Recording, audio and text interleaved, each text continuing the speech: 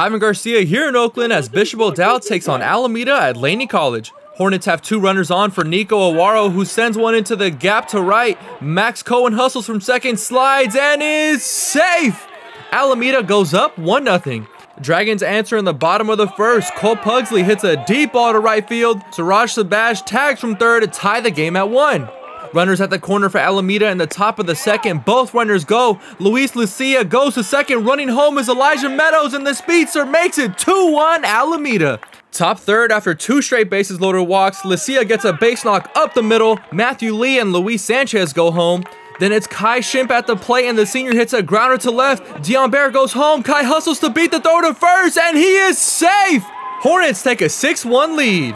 Alameda tags on another run in the fifth. Cohen sends a hard hit ball deep to center. Shimp trots home. Hornets go on top 8 1. Dragons get one back as Ben Skiles skies one into the gap to right. Vander Cole scores. Skiles' RBI triple cuts the lead 8 2.